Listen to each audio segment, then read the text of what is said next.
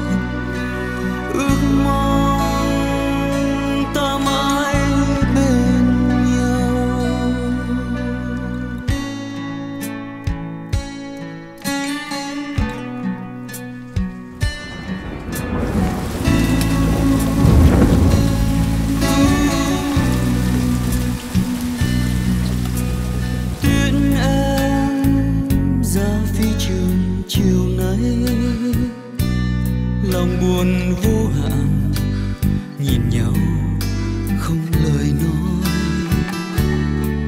Tiễn em ra phi trường chiều nay, nụ hôn vội